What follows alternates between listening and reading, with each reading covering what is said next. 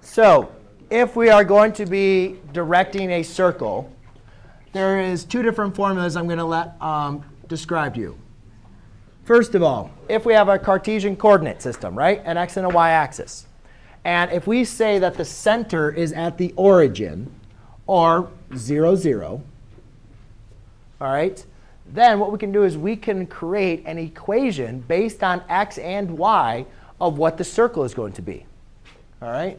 So if I just have a general circle, and we're not talking about units right now, the general equation of a circle is x squared plus y squared equals r squared, where r equals the radius.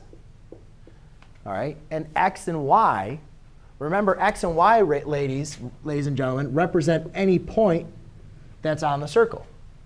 All right, Any point that's on the circle, that's what x and y represents.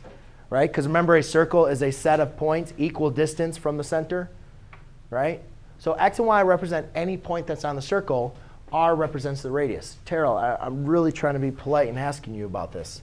Um, let's really try to write this down and focus for you. Now, what about if I have a circle that is not at the origin, meaning the center is not at the origin? Let's say I have a circle written over here.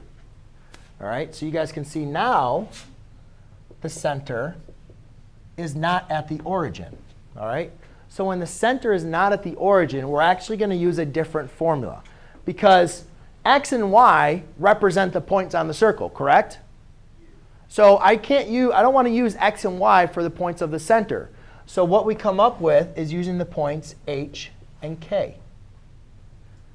All right. So the equation of a circle when it's the center, this is the center at the origin. If the center is not at the origin, and notice, guys, the, really the formula is the same thing. It's that when, the, or when it's at the origin, h and k are 0 and 0, right? But when it's not at the origin, I have x minus h squared plus y minus k squared equals r squared, where the center is now the coordinate point h comma k. And r still represents the radius. All right? You guys will be asked this, and we're going to do two questions now. All right? It's OK. We're going to do two questions to try to figure this stuff out.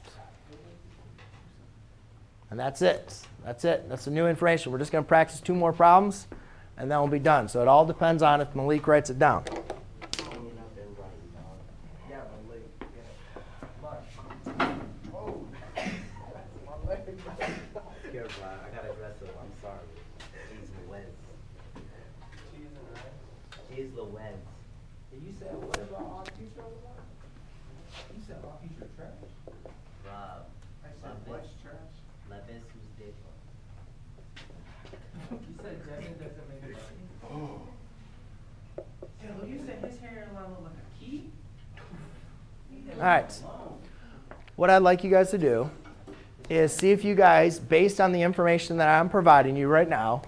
if I tell you there's a center negative 3, 4 and a radius 8, why don't you guys go and see on your own, see if you can figure out what is the equation what is the equation of that circle? So I gave you guys two formulas.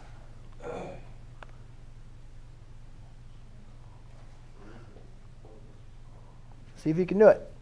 Jake, can you put your music out of your ear, please? I'm trying to be very polite and fair to everybody. And I know that since you have music in one ear, you can definitely hear me in the other.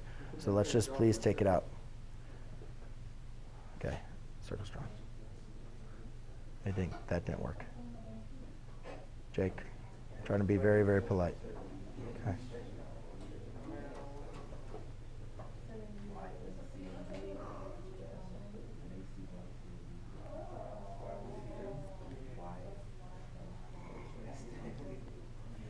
Devin, you try this yet?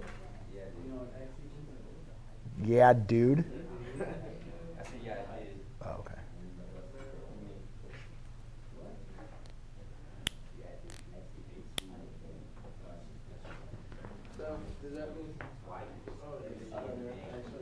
You're a liar. You, you just drew a circle, you liar. Mm, close, close. That's correct. That one's wrong though. And then you can simplify that. oh, it's line minus. Right. Yes. Huh? 30.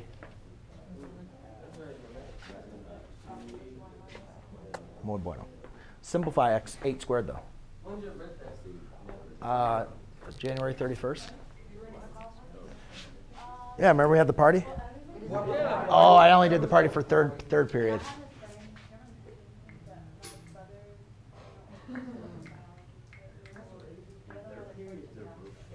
All right, ready?